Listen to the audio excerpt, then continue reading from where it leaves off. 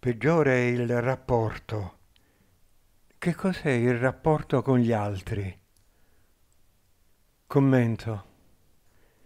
Il rapporto con gli altri è la chiave delle nostre esistenze.